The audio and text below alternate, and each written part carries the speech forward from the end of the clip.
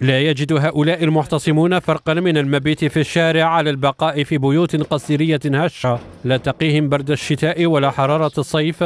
لذا قرروا الاحتصام ليلا ونهارا في وجه استكمال خط ترامواي بدرجانة شرق العاصمة. هي طريقة جديدة لجأ إليها السكان المحتجون على ما أسموه الحجرة والتهميش وسياسة الإقصاء المنتهجة من قبل السلطات المحلية. قريب 700 عائلة لهنا عايشين فوق الرومبلي عايشين فوق الرومبلي الشتاء كي طيح الشتاء لهنا تفيض علينا كاين اللي يدخل لهم لديورهم كاين اللي بات بالبيدون يخرج من من دارو وكاين حتى اللي مرضى ولادنا مرض إحنا كبار دي جاو مرض. عايشين مع الطومبات عايشين مع الفيران مع الحنوشة. ميزيرية ميزيرية يعلم بها غير ربي سبحانه. نسأل تروح تشيل ريحه المكياج أنا نروح نشيل السقا تاع الفيران الرهج تاع الطومبات.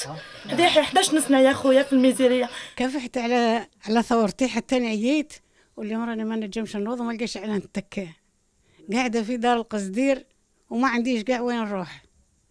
الشتا تصب عليا كما تصب الشتا كما تصب عينيا. الترحيل لسكنات لائقة وتصعيد الاحتجاج ومواصلة الاعتصام قرار لا رجعة فيه بالنسبة للمحتصمين. سيد بوتفليقة. رئيس الجمهورية فوطينا عليه.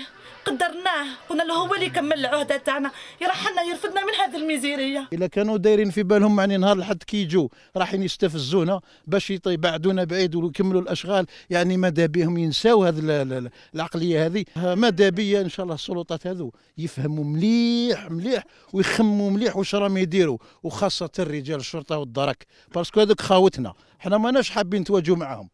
باش يعرفوا لي بلي ما راناش ضد هذا المشروع.